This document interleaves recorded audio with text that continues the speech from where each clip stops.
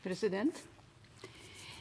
Når eh, representanten Tuva Moflag i landets aviser kaller stortingsmelding nummer 15 for en sitat eldrebrøff og et sitat mageplask, så lurer jeg på om hun har lest innstillingen. Hadde hun gjort det, ville hun ha vært klar over at dette er en reform som for en gangs skyld er skapt fra bunnen. Den bygger på hva ansatte, eldre, pårørende, frivillige, forskere og ledere har sett fungerer i praksis etter dialogmøter over hele landet. Og president, Som 86 år så er dette en reform som handler om meg.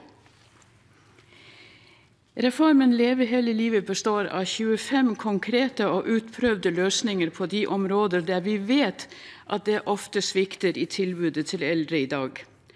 For første gang har en regjering samlet og systematisert arbeidet i noen av de kommunene som har funnet nye og bedre løsninger i tilbudet til de eldre. Nå er det de enkelte kommuners ansvar å beskrive hvordan de vil utforme løsningene lokalt. De kommunene som omstiller seg i tråd med reformen, vil bli prioritert innenfor relevante eksisterende og eventuelle nye øremerkede økonomiske ordninger.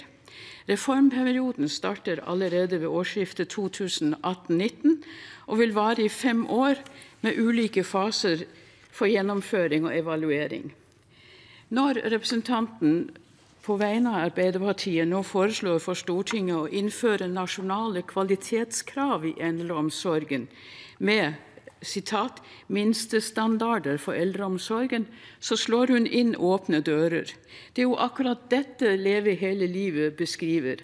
Akkurat det alle innspillene i reformprosessen fremhever og kommer med løsninger på. Når Tuva Moflag påstår at eh, sitat, eldremeldingen kommer uten penger og praktiske løsninger for å heve kvaliteten i eldreomsorgen, er jeg nesten sikker på at hun ikke kan ha lest meldingen. De praktiske løsningene har jeg allerede nevnt. Og når det gjelder pengene, har regjeringen allerede bevilget en del penger.